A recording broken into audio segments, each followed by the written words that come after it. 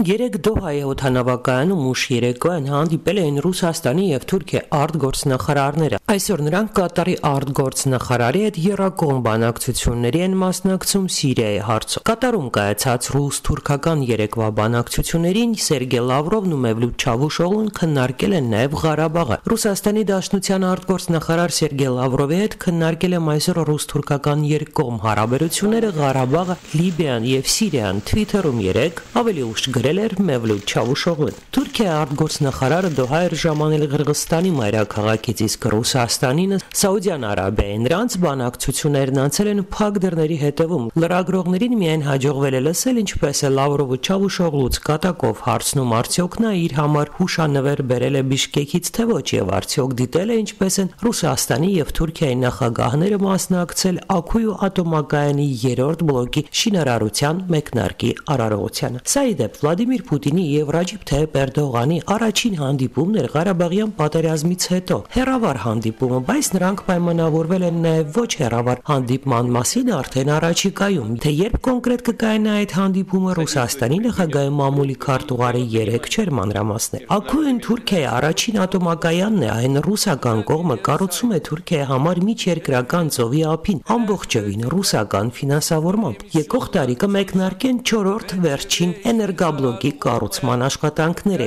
իսկ երկու տարուց 2023-ին կավարտվեն առաջին էներգաբլոկի աշխատանքները։ Ռուսաստանի եւ Թուրքիայի իշխանությունները հույս են հայտնել, որ ատոմակայանի առաջին էներգաբլոկը կսկսի գործել Թուրքիայի համար նշանավոր տարում, երբ նշվելու է հանրապետության 100-ամյա հոբելյանը։ Հակառակ Ռուս եւ Թուրքիա ոչ միայն փորձագետների կանխատեսումների Ղարաբաղյան պատերազմը ռուս-թուրքական հարաբերություններին չի վնասել, գոնե հրաապարակավ Ռուսաստանի իշխանությունները հայտարարում են, որ հարաբերությունները ռազմավարական եւ բարեկամական են, թեև կան որոշ տարաձայնություններ, ընդ որում տարաձայնությունների շարքում Մոսկվան չի նշում Անկարայի դիրքորոշումը Ղարաբաղի հարցում։ Երեք Ռուսաստանի նախագահի մամուլի քարտուղար Դմիտրի Պեսկովը հակառակը ընդգծել էր, թե չնայած Ղրիմի հարցում տարաձայնությունների արկայությանը Մոսկվան եւ Անկարան ունեն ռազմավարական փոխգործակցություն եւ որպես օրինակ բերել էր փոխգործակցությունը Ղարաբաղում ռուս-թուրքական մոնիթորինգային կենտրոնի շրջանակներում։ Հիշեցնեմ, Ռուսաստանի համար թերևս